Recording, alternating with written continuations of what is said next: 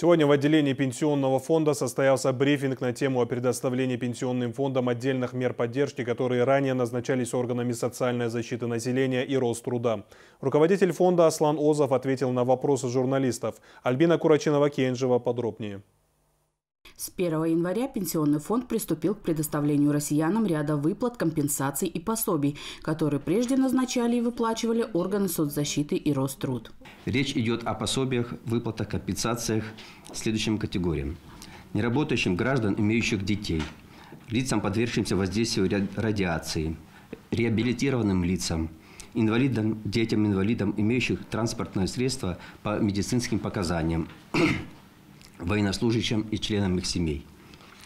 Новые выплаты, компенсации и пособия Пенсионный фонд назначает за счет организации межведомственного взаимодействия, то есть гражданам, уже получающим эти меры соцподдержки, назначение выплаты будет производиться Пенсионным фондом Российской Федерации автоматически на реквизиты, указанные ранее.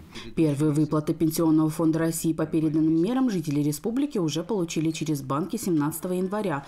Почта России будет осуществлять доставку с 15 по 31 число месяца. Для оформления социальной помощи достаточно будет подать заявление в клиентскую службу Пенсионного фонда.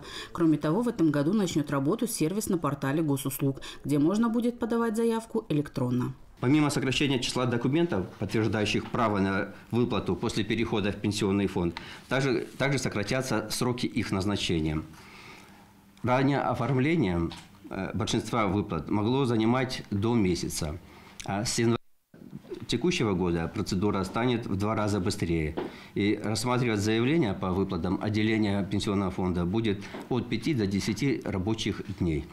Новые функции полномочий ПФР по оказанию ряда мер социальной поддержки оптимизируют процесс осуществления социальных выплат. Получить ответы на интересующие вопросы можно по номеру телефона горячей линии 8 800 600 02 91 в рабочие дни с 8 до 17.00.